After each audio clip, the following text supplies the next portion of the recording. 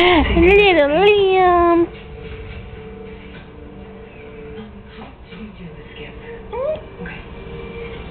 What are you doing, Liam? Hmm.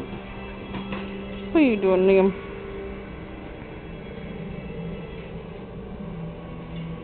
Give Mr. Speaker. Give Mr. Speaker. Give Mr. Speaker.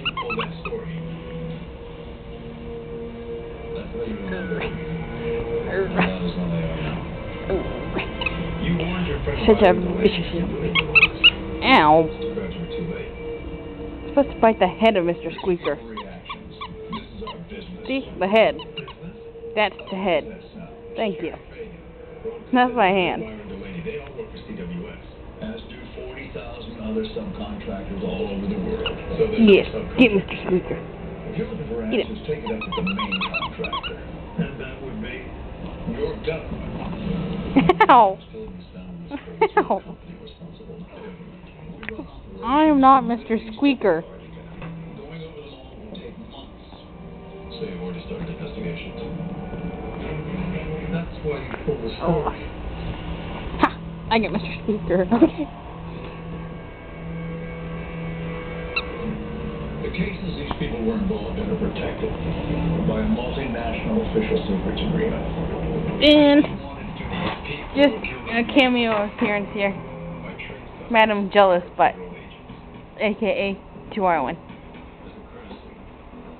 out uh, of respect for the predicament the company now faces, everything in this room is off the record. However, outside this room, Madam Jealous full Butt. information about the case, you and your company will be held fully accountable. And the asshole that attacked Liam is over there.